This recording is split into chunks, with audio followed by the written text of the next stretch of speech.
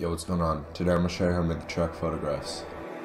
If I want it, I don't gotta say nothing. I've been back and forth this time, I'm gonna take my chance. She take all the photographs and life will stay like this. Even if I break her heart, she gonna save that pic. I'm forever on the side, we can't move on. Even if she leave me bad. So for this track, I started with my melody, and I wrote some really simple triad chords. I usually like to use more complex chords, but if you find the right sound, triads are all you need. And then I wrote a little top line melody, and it's really nothing complex. It's just super straightforward and to the point. Uh, this is what the melody we wrote sounds like.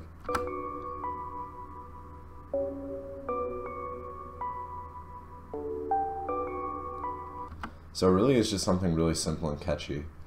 Um, I used an ElectraX uh, patch from a sound bank I have.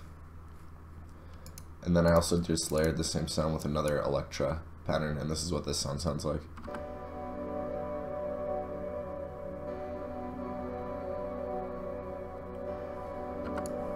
And that's the sound you hear that gives you all the atmosphere. It's like a pad almost. And as you can hear how that song kind of uh, grows very slowly, it's because I threw Gross Beat on it, just a halftime. Without the halftime, this is what it sounds like.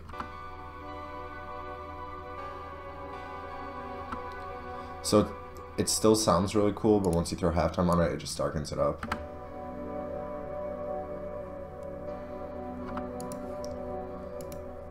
So then I also did automate a gross beat for the original sound that comes on during the hooks and it slows it down. So this is what it sounds like.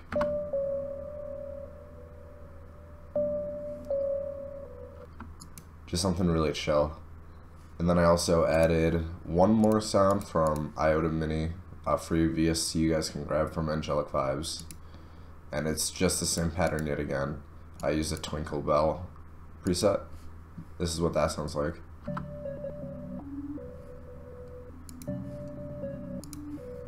and I threw Gross Beat on it, obviously. Just standard uh, patterns. And I did that just to kind of create like a glitchy kind of building sound during the uh, pre-chorus. One other thing I added to the melody was uh, arcade vocal chops.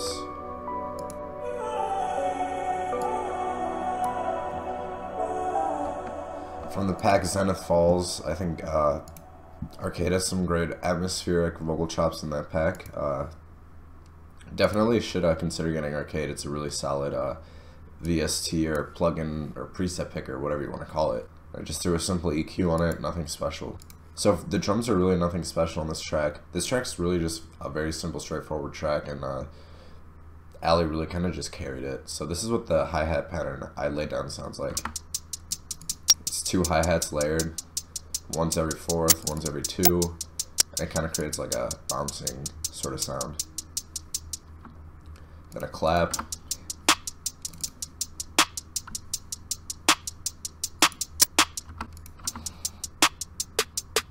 Then there's a little snare in there to bounce. It hits in a pretty common spot too. Uh, it's on the offbeats of the snare. It's like a southern trap rhythm. I like this bounce a lot. And then I also just threw an open hat on the 1 and 3 bar. And it just kind of helps push the drums forward. Then I an 808. Very simple pattern.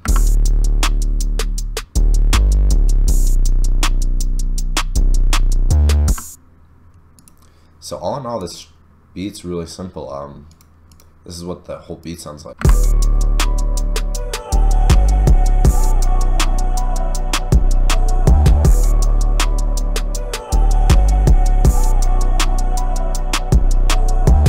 And then one really cool thing I did was in the uh, verse, I added a sub bass, but I threw a effect on it and it kind of makes it pulse. So this is what that sub bass sounds like.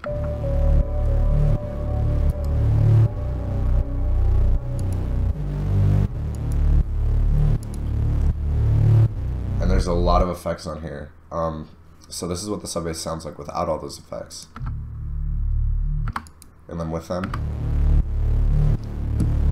So I threw Blood Overdrive, this kind of just uh, distorts the uh, low end of the bass, some fast distortion, um, really just a lot of distortion. Uh, compressor, I threw uh, the Master 1 preset on there. That's uh, usually a pretty good preset for your basses. a simple EQ, and then the gross beat I used is I made like a custom side chain, and it just uh, helped add some energy to the track and made it not be like a boring static uh, sub bass, and then some more distortion.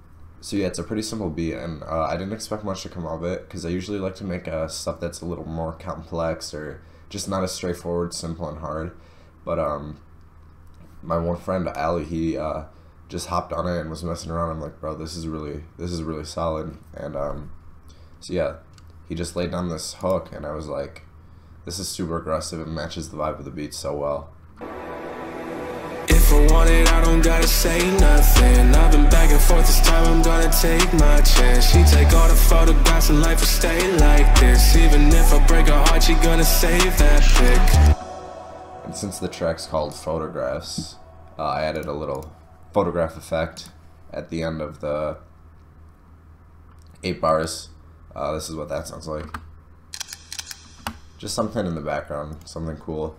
And then Ali also does uh, some cool reverbs. He usually does this. And this just kind of helps fill up the track as well. And it builds up to the drop. So a lot of times his vocal effects that he sends me are almost a second pad. And I think it's a really cool thing that he does. But yeah, overall that's the whole track. Uh, nothing very crazy. And then on the outro, I just kind of messed with a lot of Gross Beat. Like I gross speeded the whole track, and I made something really cool sounding. Uh, this is what the outro sounds like.